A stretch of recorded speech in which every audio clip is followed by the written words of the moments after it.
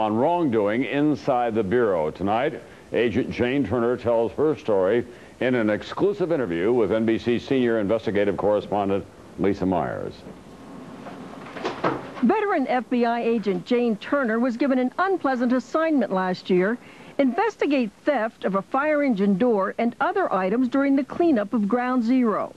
But just as the case was heating up, Turner made a stunning discovery.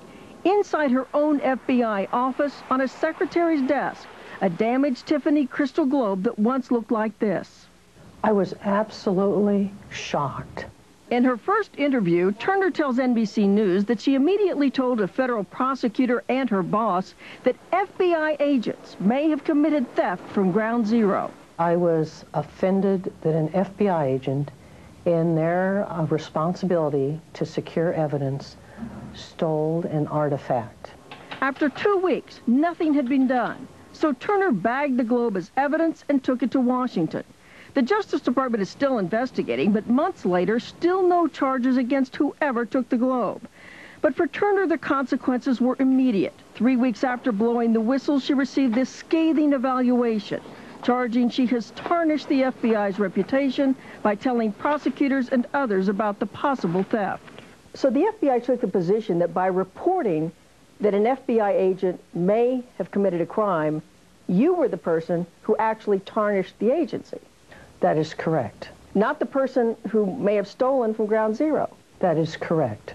Last fall, she was put on leave. The only thing that they allowed me to keep was my 20-year ring.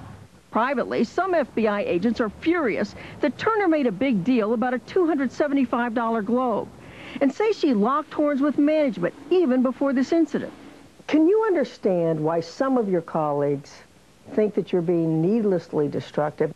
I believe and I embrace the fact that no man is above the law, including FBI agents. Earlier this month, the FBI informed Turner she's about to be fired. An FBI spokesman strongly denies it's because she blew the whistle. The FBI claims there have been problems for years, that Turner doesn't work well with other agents and makes disparaging comments about bosses. But Turner points out she had only very positive reviews until four years ago, when she first informed her bosses of FBI misconduct, including a botched investigation into sexual abuse of a child. She says the real reason she's being fired now is she exposed wrongdoing inside the FBI. The bottom line is you do not embarrass the Bureau. And I had embarrassed the FBI. Adding to the FBI's embarrassment, the original investigation into theft at Ground Zero has grown and been turned over to another federal agency. Lisa Myers, NBC News, Washington. When I come back in a moment,